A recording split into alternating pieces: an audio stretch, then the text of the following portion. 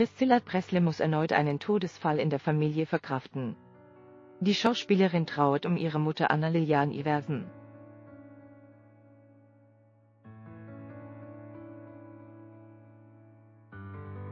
Meine wunderbare Mutter ist heute gestorben. Sie war das Licht in unserem Leben.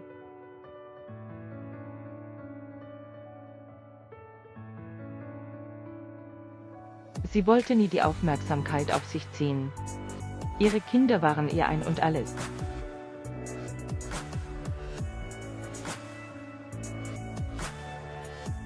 Mögest du in Frieden ruhen, Mama. Du wirst immer bei uns sein, schrieb sie am Montag auf ihrem Instagram-Account zu einem Foto von ihrer Mutter mit einem Blumenstrauß.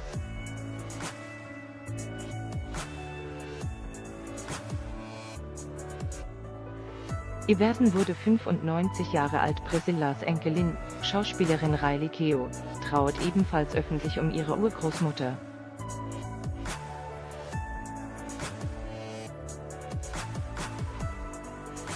Wir haben heute Morgen unsere wunderbare Oma verloren. Sie war eine unglaubliche Frau und Mutter.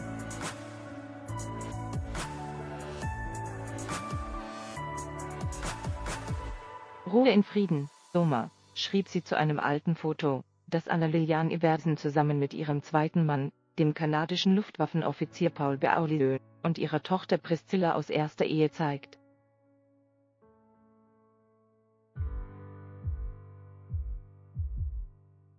Priscilla Presleys Enkel starb vor einem Jahr Anna Lilian Iversens Tod folgt ein Jahr nach dem Tod von Priscilla Presleys Enkel und Riley Keoughs jüngerem Bruder, Benjamin Keough.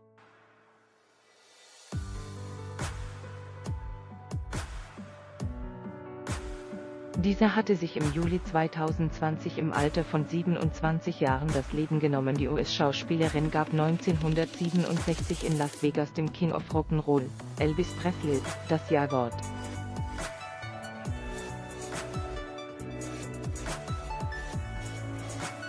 Anfang 1968 kam die gemeinsame Tochter, Sängerin Lisa Marie Presley, zur Welt.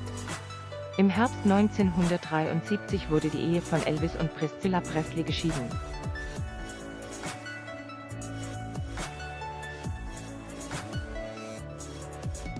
Elvis ist vier Jahre später gestorben.